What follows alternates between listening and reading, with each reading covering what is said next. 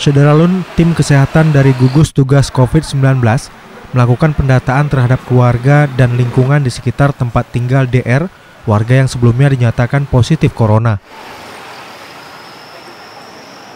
Mereka kemudian akan menjalani tes swab di Rumah Sakit Kabupaten Aceh Barat untuk mengetahui apakah ikut terpapar atau tidak.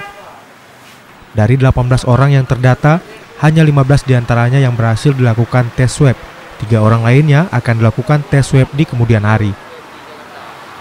Ini klaster pendatang dari zona merah. Dari zona merah. Ya. Di mana zona merahnya ini? Dari Pulau Jawa yaitu Depok ya. Depok ya. Oh, ini dengan adanya temuan ini berapa orang yang akan dilakukan isolasi mandiri ini? Ya, ya kalau memang yang ada kontak dengan yang akan